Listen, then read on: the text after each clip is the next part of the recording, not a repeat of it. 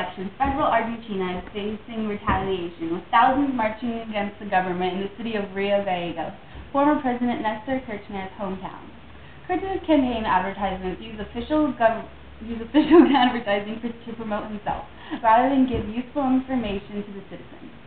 The amount of the government's money Kirchner spent on his personal advertisements exceeded the country's inflation rates by far, increasing the national debt.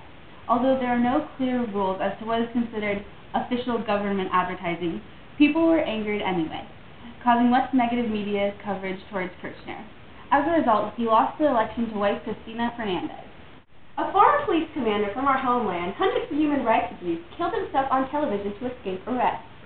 Mario Ferreyra was 63 years old when he pulled a gun from his boot and shot himself in the head on Friday as police came to to arrest him because he kidnapped, and killed rebels during Argentina's 1960, 1976 to 1983 dictatorship. A television crew that had just interviewed him witnessed the suicide. Police took him to the hospital, but he didn't make it. The Cronica TV network broadcasted the interview and its bloody denouement, but it was barred by a judge from being seen ever again. Mr. Ferreyra was accused of kidnapping, torturing, and killing rebels at a secret detention center in Tucumán. Human rights groups say that around 30,000 people were killed during the rebellion war. Relatives say that the suicide was a pact of secrecy to protect those that had helped him perform these terrible acts.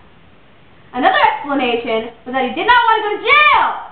In interviews the week before suicide, he said he'd take a drastic decision rather than surrender to the police. His widow, Maria Ferreyra, accused the authorities of inventing crimes against her husband.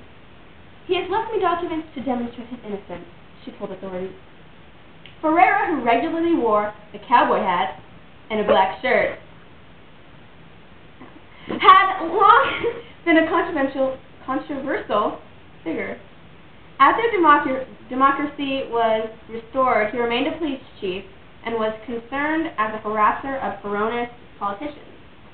This wasn't his first brush with the law. In 1993, he was convicted of murdering three murder suspects.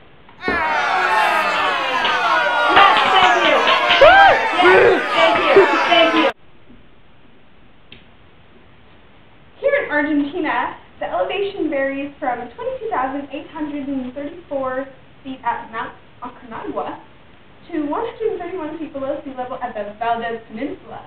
The highest average temperature is 80 degrees Fahrenheit in January, and the lowest average temperature is 32 degrees Fahrenheit in August. The Chaco region is characterized by extreme heat. Central Cama, in the center, has mild temperatures and is usually mild to cold in southern Patagonia. Moist winds rise up from Pacific, bringing rain and snow to high slopes of the Andes. Prevailing westerly winds descend on eastern side, becoming warmer and increasingly able to absorb moisture. we are looking at highs in the upper 70s to mid 80s with abundant sunshine to the north.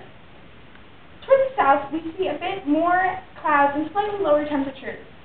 In the southwest, we are to expect a bit of light precipitation. And we can see that cloud systems are moving in from the southwest, possibly bringing more heavy rains and some storms. Here we are at the Battle of Chacabuco, led by legendary General Jose Francisco de San Martin.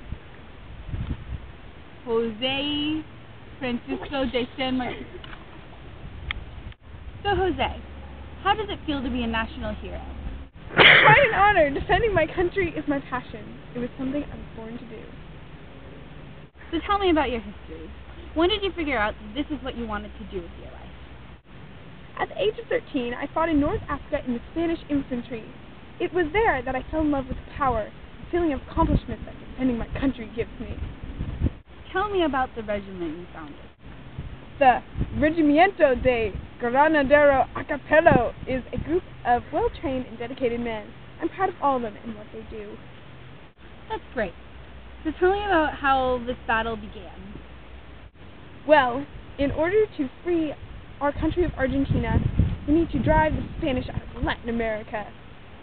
So now here we are in the Andes Mountains, fighting for our freedom. Thank you, Jose, and good luck. Anything for you, mamacita. I'm now in the studio with Daniel Passarella, all-star football player of Argentina. So Daniel, let's get this started on a good note. How old are you? I was born in 1953, pretty lady. Do the math. Um, okay, Mr. Passarella. Why did they call you the Grand Capitan on your old soccer team? well, because of my leadership, passion, and organization. Wonderful. What position do you play? Defense. Your height is often described as average. How tall are you? I just so happen to be 1.73 meters tall. Cool. So what happened with the World Cup of 1978? I was the first Argentina player to hold the cup. Why did you miss the 1986 World Cup? I had a case of enterocolitis. It was horrible. I was replaced by Jose Luis Brown that year. When coaching the Argentina team, what was one of your crazy rules that I've heard of? No long hair, no earrings. Oh boy! When did you play for Italy? From 1983 to 1988. What are all the clubs you've been a part of? Argentinos Juniors, Sarmiento, River Plate, Fiorentina, and Inter Milan. Thanks so much for your time, Mr. Casaria. I hope, I mean, I look forward to seeing you in the future. Thank you so much for your publicity, buddy, and heart.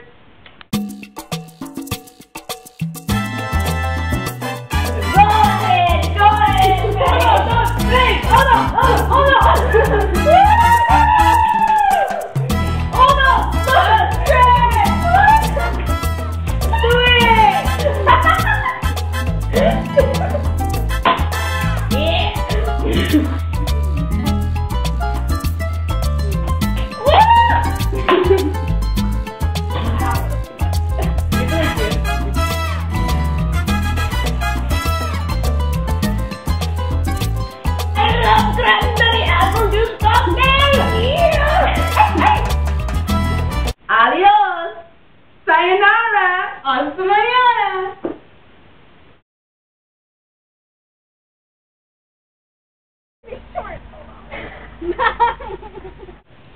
Oh no.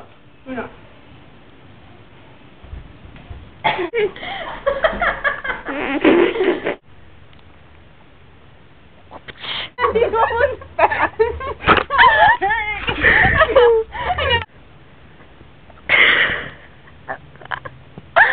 It's an enterocolitis. The Valdés Peninsula. Yeah. Oops. I did something. Yeah. One. Uno. Uno! Ow! Chaco region is characterized by extreme. Jose, Jose Luis Brown year. Um. Okay. Tortured, and killed people on charges arising from the dis- oh crap. Brown that year. Um. Okay, Miss. what did you do? Moist winds When he pulled a gun from his boot and shot himself in the head on Friday at Blaze Kendra's house. prevailing westerly winds.